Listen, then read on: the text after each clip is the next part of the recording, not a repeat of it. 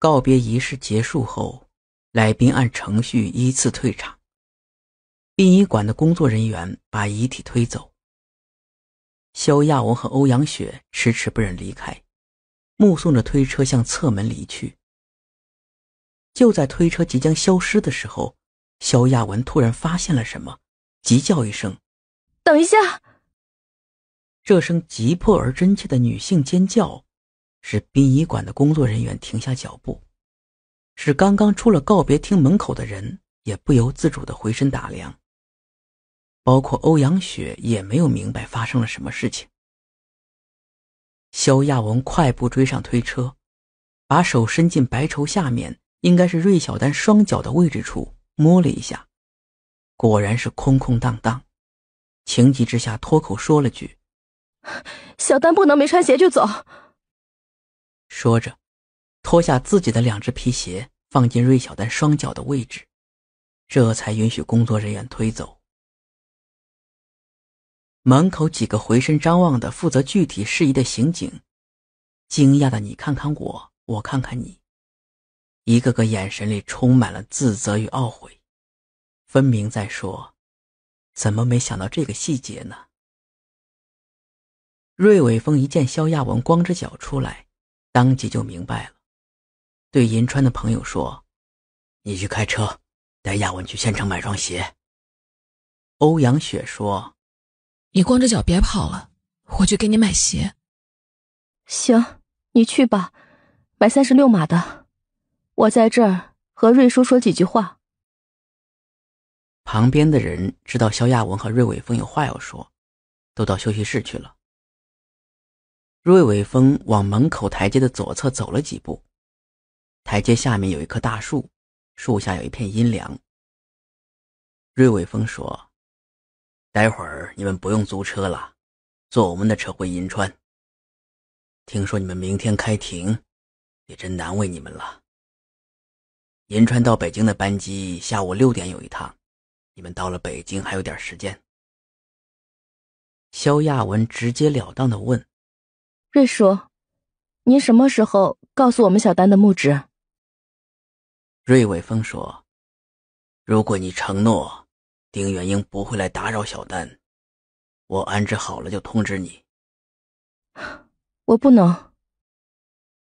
瑞伟峰说：“那我就无能为力了。小丹是我女儿，是我的掌上明珠，我女儿有机会避险而没能避险。如果小丹不听丁元英劝阻，那我无话可说。可事实不是这样。”事实是，丁元英连一句担心的话都没说，我甚至都能想象出来，小丹当时的心情。唉，这个情况，我会如实告诉小丹的母亲。我们有权对小丹的目的保密，有权保护我们的感情不受伤害。通缉犯是四名死罪的武装暴徒，离县城只有二十分钟的路程。任何一个警察都会想明白，如果让这样的武装暴徒进城，会对群众生命安全有多大威胁？瑞伟峰说：“那是小丹的事，我说的是丁元英。丁元英的话对小丹有没有影响？有，有多大影响？很大。但他沉默了，我女儿没了。”这对一个父亲足够了。他失去的只是一个女人，他还可以有第二个、第三个。可我失去的是女儿，不可替换，不可再生。就为这个，我不能原谅他，也用不着他拿着一堆高尚再来看我女儿。肖亚文注视着这个眼角和唇边带着深刻皱纹。鬓边头发已经花白了的老人，那种掩饰不住的痛苦，使他看上去显得更加憔悴苍老。他完全能理解老人的心情，却不能赞同他的道理，于是拿出一张名片递过去，说：“您想保密，那是您的权利。如果您改主意了，请告诉我。我想说的是，您根本不了解小丹，而您凭借的也仅仅是血缘的权利。最后一句话让瑞伟峰愠怒了，本来就悲痛的心情更加堵闷，顿时感觉到头重脚轻，脑子里嗡嗡作响，身上一阵阵的出冷汗。他勉强支撑着，想抽支烟，可是拿打火机的手却不受控制的发抖，打了几下也没打着火，于是把打火机一扔，走了。肖亚文光着脚坐在台阶上，捂着脸哭了，泪水顺着脸颊滑落下来，嗓子里像被什么东西哽住了，连哭声几乎都发不出来。他只觉得芮小丹短暂的一生，就像一颗美丽的流星划过天际，划出一道凄艳绚丽的光芒，转瞬间就消失了。他所能够留住的。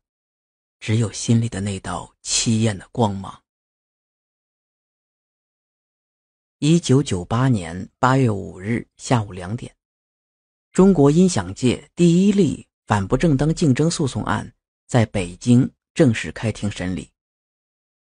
法院第四审判庭国徽高悬，审判长高坐法台正中，审判员分坐两边。原告深圳乐盛音响有限公司由法人代表、总经理赵青、诉讼代表严锡成、蒋汉臣律师三人出庭。被告北京格律诗音响有限公司由董事长欧阳雪和总经理肖亚文两人出庭。此案由于媒体的前期炒作，以及商业伦理、音响价格走势、伯爵公司高价收购。败诉即跳楼等诸多热点，已引起社会广泛关注。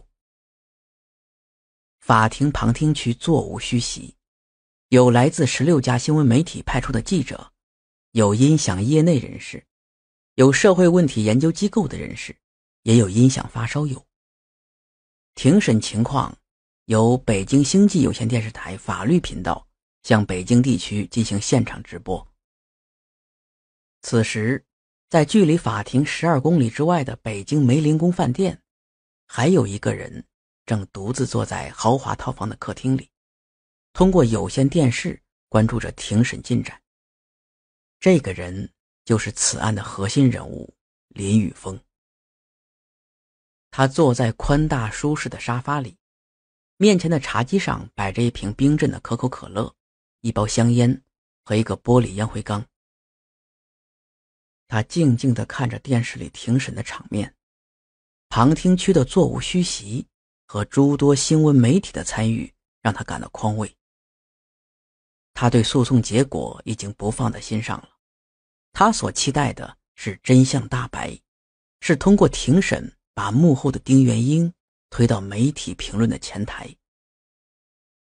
法庭里唯一让他感到不舒服的是坐在被告席上的。仅仅是两个二十多岁的女子。格律师公司连个律师都没请。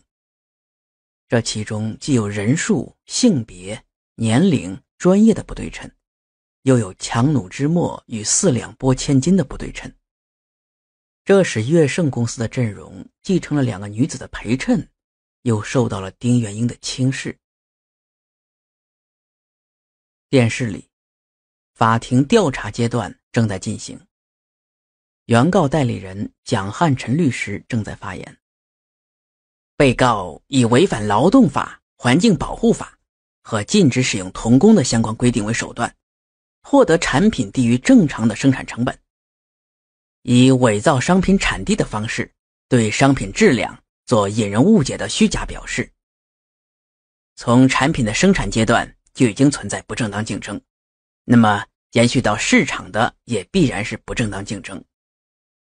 被告以低于成本价销售以乐圣旗舰套件为主要组件的格律诗音箱，势必会使不明真相的消费者误以为乐圣公司的产品暴利，以至于产生反感和排斥，致使乐圣不再是最受发烧友信赖的品牌。被告的不正当竞争行为已经造成乐圣公司生产销售系统全面陷入瘫痪，严重损害了乐圣公司的经济利益和品牌形象，必须依法承担侵害责任。接着，蒋律师向法庭出示证据。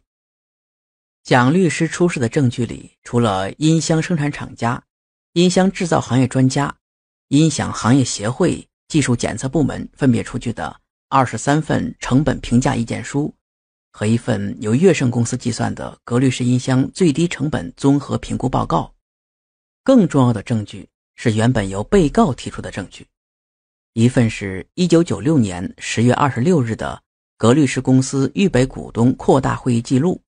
一份是1997年3月7日的格律诗音响有限公司关于公司宗旨的决议，还有一张古城王庙村个体工商户音响机架生产过程录像光盘。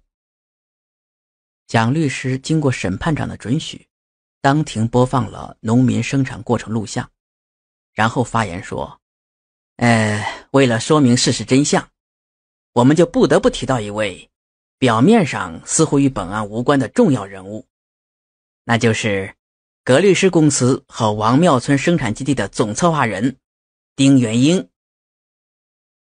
我们钦佩丁先生和格律诗公司扶贫的善举，但是正如大家所看到的，这种生产方式没有土地厂房的投资，没有安全保护、环境污染和各种社会保险的成本，没有休假，没有福利。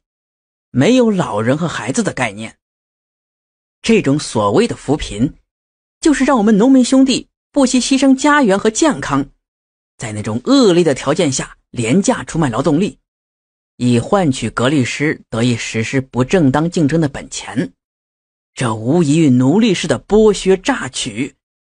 这种成本对于法治和文明的工业化生产根本没有可比性。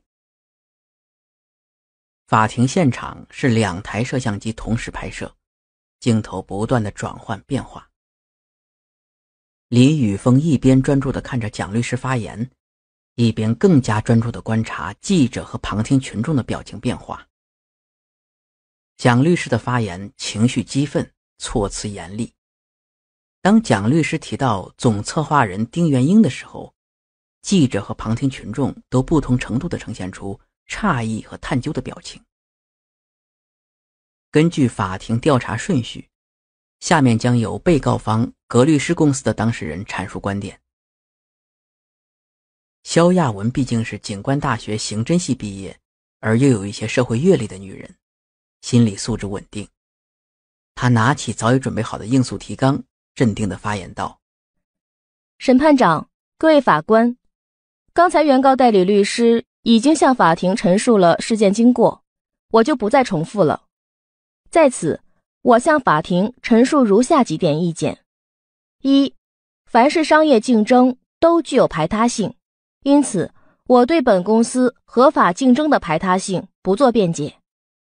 二，原告诉称我方伪造商品产地的说法没有事实根据。如果从王庙村订购箱体就算商品产地。那么，乐盛旗舰套占格律诗音箱的百分之六十三的成本，其音箱产地就可以标识深圳吗？没有法律根据。三，王庙村个体工商户与格律诗公司是否存在隶属关系，不是由哪个人口头认定的，是要以事实为根据。事实上，两者之间的关系完全是独立法人之间的债务债权关系，是市场经济的商务互动关系。接着，肖亚文向法庭出示了如下证据：北京格律诗公司音箱喇叭箱体、接线柱、标牌、包装箱等音箱组件进货发票；北京格律诗音箱成本明细表；一九九六年十月二十六日的格律诗公司预备股东扩大会议记录；一九九七年三月七日的格律诗音响有限公司关于公司宗旨的决议。古城王庙村与北京格律诗公司音箱箱体的订购合同，古城王庙村个体工商户音响机架生产过程录像，古城王庙村个体工商户经营执照、个体工商户证词，古城王庙村个体工商户成本核算表、生产成本原始记录等等。原告和被告双方经过法庭陈述和出示证据之后，法庭调查的焦点很快清晰了。诉讼双方都清楚，事实不一定胜于雄辩，事实得益于雄辩。法院追求法律真实与客观真实相一致。但是追求与实际之间本身就存在距离。法院通过证据最终认定的是法律真实。审判长说：“原告之所以诉称被告伪造商品产地及王庙村个体工商户与格律师公司是隶属关系，其证据作用是为了证明被告在产品生产阶段就已经存在了不正当竞争。现在本案的焦点问题是。”一、王庙村个体工商户与格律师公司是否存在隶属关系？二、王庙村个体工商户的生产方式是否构成不正当竞争？请双方就这两个焦点问题提出证据和辩论意见。肖亚文说：“审判长，我请求法庭准许我方的证人出庭作证。”审判长回答：“准许。”于是。王庙村个体工商户四个证人进入法庭证人席。这四个人分别是：记录1996年格律师公司预备股东扩大会议记录的王庙村小学教师赵丽静，王庙村基督教教会包装厂王曼，王庙村板材加工厂李铁军，王庙村漆面加工厂吴志明。他们从来没有经历过这样的场面。或许由于紧张，或许是法庭的空调在这么多人的屋子里已经不足以达到制冷降温的效果，他们的脸上都浸出了细小的汗珠。电视台趁法庭对证人进行身份确认和证人义务、法律责任提示的例行程序空档，不失时机地插播了一段商业广告。令人眼花缭乱的广告取代了王庙村证人的画面。广告一个接一个，好像没完没了似的。林雨峰也趁电视插播广告之际，喝了一口饮料，点上一支烟，身体靠在沙发上稍事休息。广告之后，画面切换到法庭，来自古城王庙村的四个证人逐一当庭作证。第一个作证的是王庙村小学教师赵丽静。他说：“我是教师，对村里的生产情况不是太了解。我只证明，一九九六年那份格律师公司预备股东扩大会议的记录是我亲手写的。当时他们在会上说什么，我就记什么。后来每个开会的人都在会议记录上签了名字。”蒋律师问：“为什么要做这个会议记录？”赵丽静回答：“我不知道，可能丁哥的意思是留个凭证，证明大家当时都同意了他提的那个干法，避免以后有人埋怨。事后埋怨这种事儿，在农村不稀罕。”第二个作证的是王庙村板材加工厂李铁军，他说：“欧阳找俺几个来北京当证人。”让俺告诉法院说，俺和格律师是啥关系？俺想来想去也不知道咋说。你要说没关系吧，那那公司借给俺钱买设备、买生产材料。你要说有关系吧，可俺跟公司就没搭过边儿啊。公司啊，只跟包装户签合同，包装户才跟俺签合同，俺只和打磨户签合同。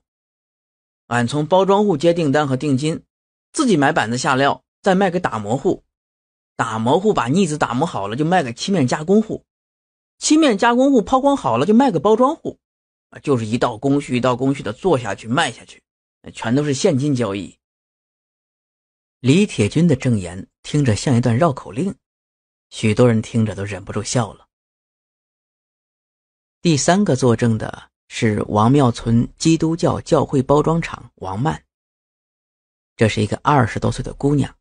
也是一个虔诚的基督教徒，他先在胸前画了一个十字，这才说：“我向主起誓，我说的都是实话。王庙村的包装户就是基督教会。呃，要说公司跟包装户有啥关系，除了公司借给包装户收购产品的资金之外，就是和公司签订合同的关系。教会基本上都是妇女挣个包装费。”蒋律师问。什么产品？产品和包装上有没有你们的生产标识？还有，价格是谁定的？王曼回答：“呃，最开始的时候没啥价格，干完以后一核算就有价格了。时间一长，价格就越来越清楚了。产品不一定，有机柜板子，有音箱的空箱子。”合同定啥，俺就做啥。商标没有，这咱这又不是成型的东西，都是按合同做的半成品零件。其实说白了，就是公司帮助王庙村的农民建了一个生产体系。公司想要把钱收回来，就必须得给农户订单。农户也知道这个道理。你把价格抬上去了，公司的产品卖不出去，那农户也挣不到钱。蒋律师冷不丁的问道：“公司给你们开多少钱工资？”王曼被这个莫名其妙的问题问的愣了一下，纳闷的回答：“啊，嗯，没人给开工资啊，农户挣的都是利润的钱，干不好的有时候还赔钱。”肖亚文立刻向审判长说：“抗议！原告律师是在诱导证人。”审判长说：“抗议有效，请原告代理律师注意。”蒋律师马上歉意的说：“好的，我收回我刚才的话。”第四个作证的是王庙村漆面加工厂吴志明，他说：“他们几个把该说的都说了，我也不知道该说啥了。再说也还是那些，真的假不了，假的真不了。”凭良心说，俺王庙村的农民都不想让公司输官司。再咋说，人家公司也是扶贫，公司垮了，俺就没订单，俺还欠着一屁股债，债可咋办呢？俺也不想坑了公司，人总得有点良心吧？蒋律师问：“公司不管你们，谁来控制成本、质量？谁来监督劳动效率？监督啥呀？那不是给人打工，那是自己的生意。”你想偷懒想浪费随便，一道一道工序都是连本带利的现金交易，出了问题你卖不出去就算窝手里了，一赔就是连本带利的赔，关别人啥事儿？谁也不会去做这个冤大头。蒋律师说：“你们知不知道，你们的这种生产方式违反了劳动法、环境保护法和禁止使用童工的规定，是违法行为。”你们很苦，包括你们的孩子和老人。你们有权要求自己的合法权益，有权要求合理的劳动报酬。你们不是奴隶。吴志明一听就生气了，说：“你这人咋说话呢？农民种地算不算生产？农村哪家的孩子不到地里干活？我咋从来没有见人管过？那就不是使用童工了。都别说那好听的，俺村是贫困县里的贫困村，能有个活干就不错了。”城里咋了？到城里就能跟城里人一样了？还不是照样干最脏最苦的活到头来连工钱都不给，还不如俺现在这样呢。俺就信丁哥说的那句话：别太把自己当人了，吃人家吃不了的苦，受人家受不了的罪，做人家做不到的成本和质量。除了这，再说啥都是假的。蒋律师问：“那么你们是只接受格律师公司的订单？”还是其他订单都接受。如果悦盛公司或者其他公司向你们订购箱体，你们能接受吗？那俺巴不得呢。只要是俺能做的，俺都接，越多越好。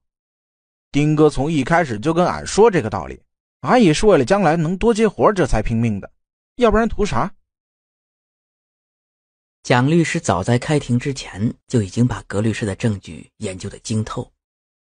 此时明知向证人问不出什么结果，但是还得这样问，不能放过一丝一毫的机会。证人作证之后退席，庭审继续进行。审判长问：“诉讼双方除了现有的证据，还有没有新的举证？”蒋律师说：“哎，审判长，我有问题需要向原告当事人欧阳雪提问。”审判长回答：“准许。”蒋律师说：“好的，谢谢。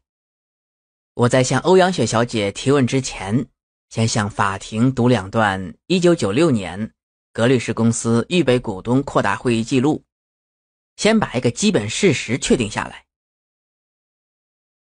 这两段记录是：第一段记录，欧阳雪发言，她说：‘我参加这个事儿。’”就三个原因：一是大伙儿请大哥操持这事儿，我相信大哥；二是这事儿有扶贫的性质，是积德的事儿；三是我出的那些钱是我能赔得起的数。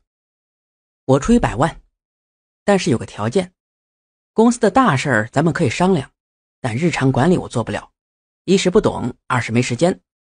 如果大家同意我这个条件，我就算上一个。第二段记录是丁元英发言，他说：“从现在起，格律师预备公司就存在了。我向公司谈两个硬指标，一是明年三月注册公司，申请音箱专利；二是明年六月要发到欧洲十套顶尖级工艺的音箱和配套的机柜、音箱脚架。这两个硬指标不存在争取、尽量这些弹性词。”而是必须围绕着这两个硬指标，你们该准备专利资料的准备资料，该向农户下订单的下订单。农户这边有三个硬指标：明年三月必须注册个体工商户，明年四月必须完成发往欧洲的产品，明年六月必须得有批量的产品进入北京市场。为此，农户添置设备，传授技术，该干什么干什么。马上就要入冬了，这个冬天是不要命的冬天。读完两段会议记录，蒋律师提问道：“欧阳小姐，格律师公司在你加入之前的酝酿阶段就已经确定了扶贫的性质，包括已经确定的生产方式和经营方式。用你的话说，就是大哥操持这事儿。”你作为格律师公司百分之五十一股份的控股股东，一不懂技术，二不懂管理，三没有时间。我请问，你后来是通过什么方式来履行董事长职责的？另外，丁元英在会议上说：“呃，我向公司谈两个硬指标，这两个硬指标不存在争取、尽量这些弹性词，而是必须。”他还说。呃，农户这边也有三个硬指标啊，农户必须如何如何。显然呢，丁元英不是在和谁协商，而是在下达命令。那么我再请问，股东和农户有没有可能违抗丁元英的命令？公司和农户在丁元英手里是不是一盘棋？欧阳雪答道：“第一个问题，公司有大事儿。”我会找大哥帮我拿个主意，就是丁元英。第二个问题，股东和农户不可能违抗命令，因为他们是请大哥帮忙的，是他们给了丁元英命令的权利，包括我。你请人家帮忙就要听人家的，不然就别请。我感觉公司和农户在丁元英手里是一盘棋。他既得考虑农户的前途，也得考虑公司的前途。农户如果只是打工的，就没有长远前途，也就没有做一番事业、靠市场生存的积极性。公司的产品如果完全被农户控制，公司就不安全。公司必须得保持一种靠市场也能订购配件的选择。所以，丁元英让农户和公司既从产权上独立，又在市场上联系。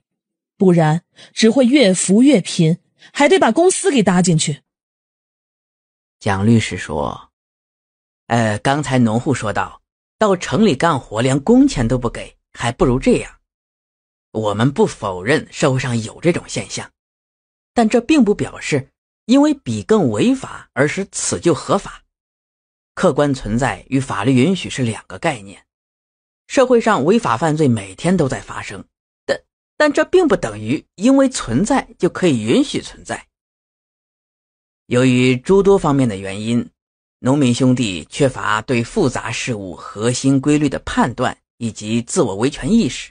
我们可以理解，也感到非常痛心。如果没有格律师公司的组织策划和资金支持，就没有王庙村这些专门针对格律师公司产品生产的个体工商户。如果没有格律师公司的订单，这些个体工商户就无法生存。格律师公司实际上就是以市场经济的方式，达到行政管理的目的。因为农户没有选择，本质上还是隶属关系。肖亚文反驳道：“市场经济的依存关系不等于资产权利的隶属关系。如果对方律师认为两者属性等同，请你拿出法律依据。扶贫不是给予，不是慈善，是向农民输入一种市场经济的生存观念，建立市场经济的生存方式。”丁元英先生正是基于这样的考虑，才从产权的根本上让农户独立的。王庙村穷是客观条件，过去几十年输血式的扶贫，为什么越扶越贫？就是因为农民在等救世主。丁先生用产权独立的方式告诉农户，从来就没有救世主，要改变自己的命运，只能靠农民自己。转变了观念的农户，有条件要上。没有条件创造条件也要上，这正是我们党一贯倡导的艰苦奋斗的光荣传统。蒋律师不假思索地说：“反对，过去是给党干，现在是给自己干。”肖亚文立刻对审判长说：“反对，审判长，我认为原告代理律师不可以把党的利益与贫困农民的利益相对立。”审判长立刻说：“反对有效。”法庭提醒原告律师注意自己的言辞。蒋律师懊悔自己犯了一个不高明的错误，只得再次歉意地说：“啊，对不起，对不起，口误，口误，我收回刚才那句话。”原告律师出于推定格律师公司不正当的竞争需要，而无视事实主观，认定公司与农户是隶属关系，这已经背离了以事实为根据的法律原则。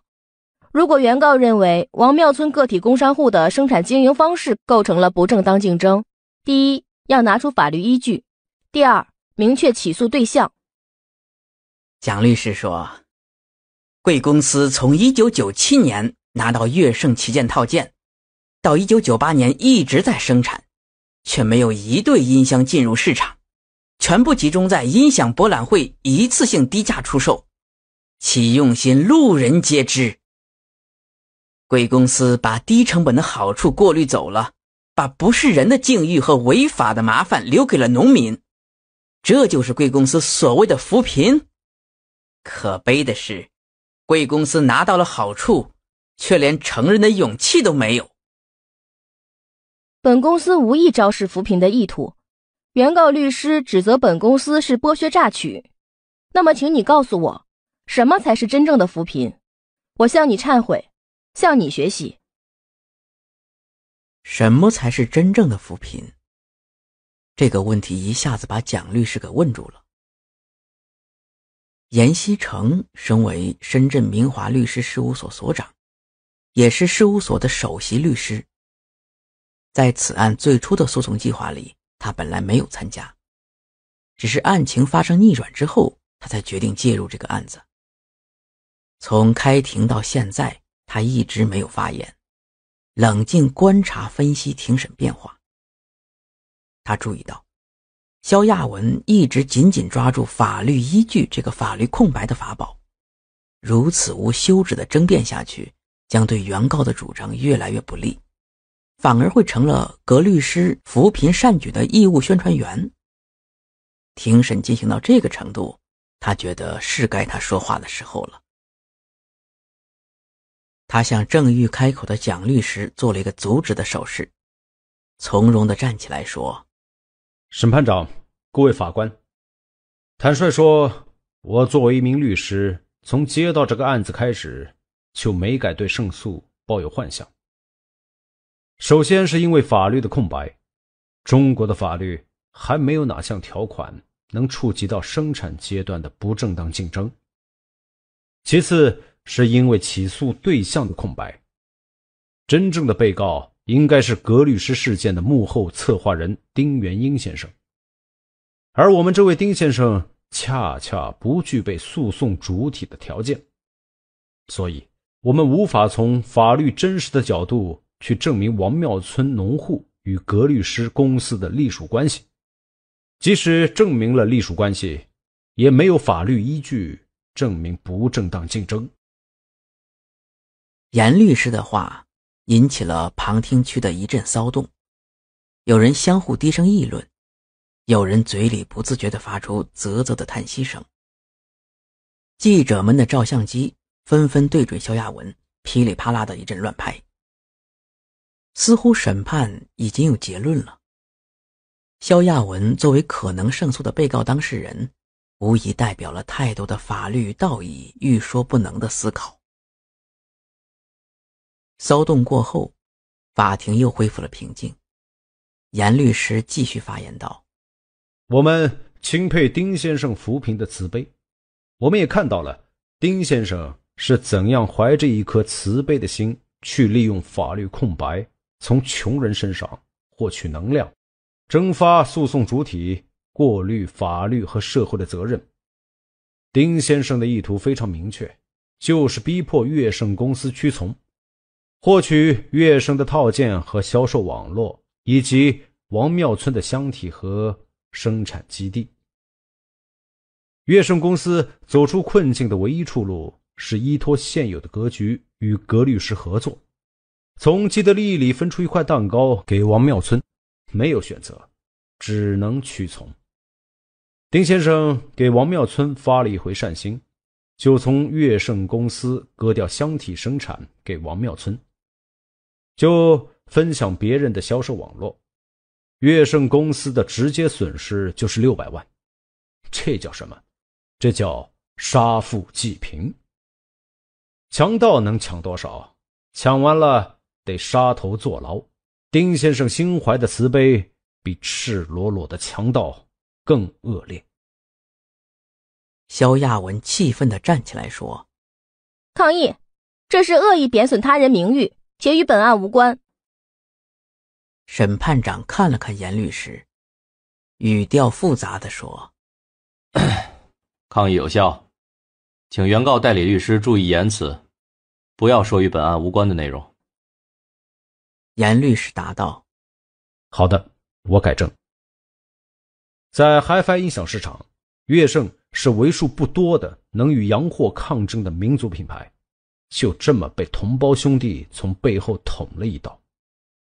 格律师事件并不在于他自身有多少能量，而在于他引爆了能量，在于他修改了竞争规则。